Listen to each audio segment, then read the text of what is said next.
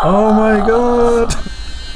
Okay, uh, here, take my money and uh, give me the. so I just woke up a few uh, minutes ago and uh, I checked Instagram and saw that uh, Ricoh Pentax officially announced that they're going to work on making film cameras.